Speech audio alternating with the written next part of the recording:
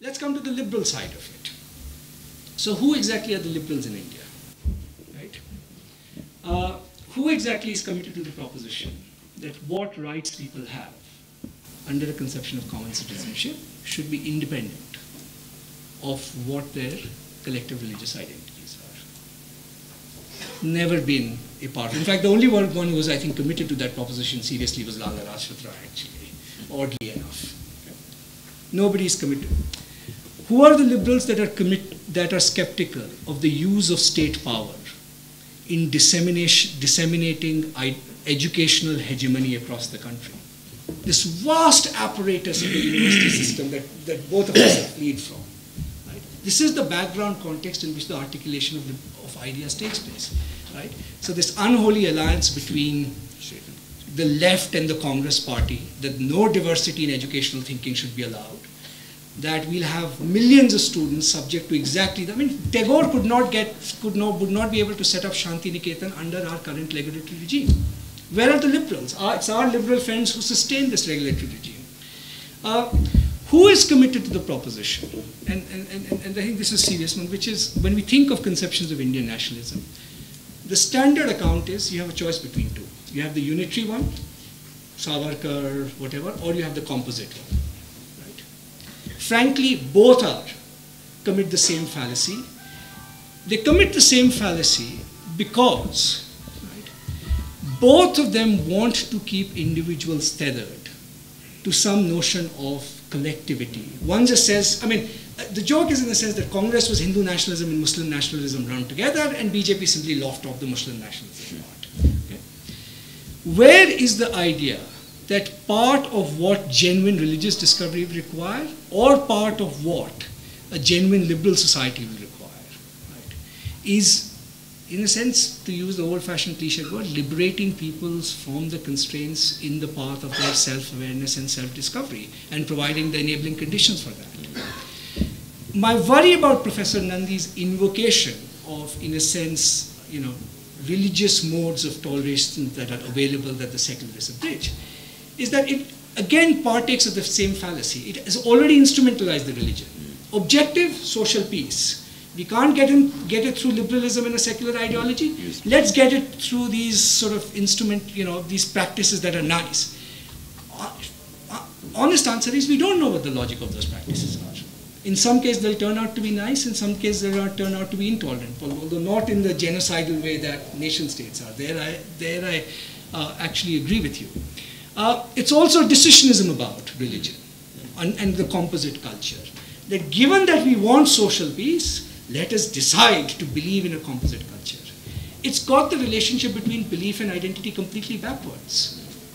Uh, you, you know, I think Locke was right on that. Belief in that sense is not a matter of will. I mean, if, you know, it's quite possible that somebody genuinely believes uh, that Hinduism is retrograde, somebody genuinely believes Islam is retrograde.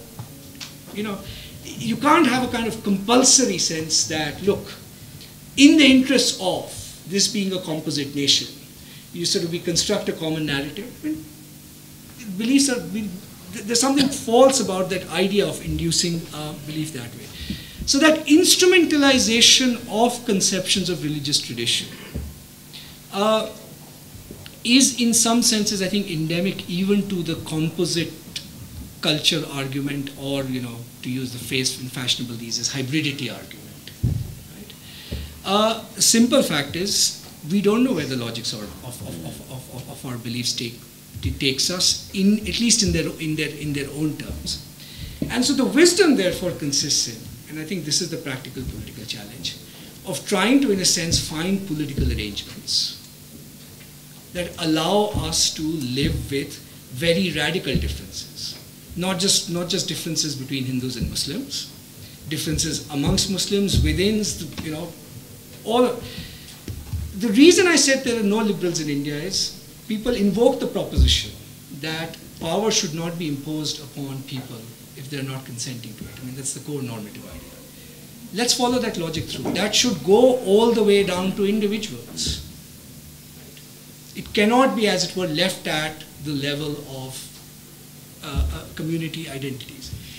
So, both religion and liberals are in, they're alter egos in the sense that I don't find any people corresponding to what I would think are the two true, as it were, prescriptions, uh, the true descriptions, uh, uh, two reference points uh, that they should uh, evoke.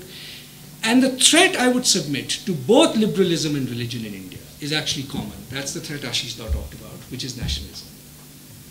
Uh, which is, in a sense, both colonized discussions about value the question of benchmarking identity has colonized the questions about rights and the question of, in a sense, what our common history is, has, has basically colonized all questions of the transcendent and so forth. So I would submit to you that there are all liberals and, and religious people, whatever is, they actually have as it were, a common enemy, which is the colonization of identity, or colonization of reason by identity. That is the central fact of India's political culture in so many different ways, whether it's on the religious question, whether it's on the caste question.